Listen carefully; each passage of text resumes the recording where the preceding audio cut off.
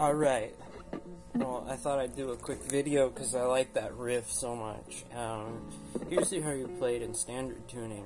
Uh, because I'm assuming you use some kind of like weird tuning, or maybe not, but it's just the standard tuning.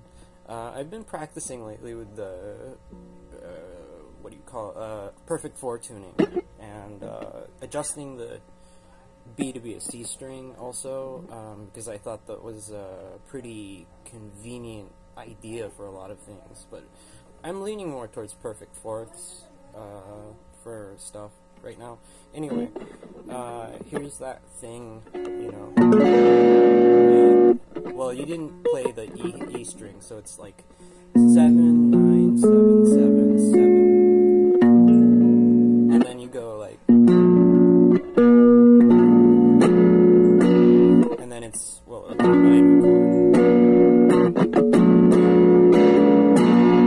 And what I really like is that you can expand this in so many ways. Like,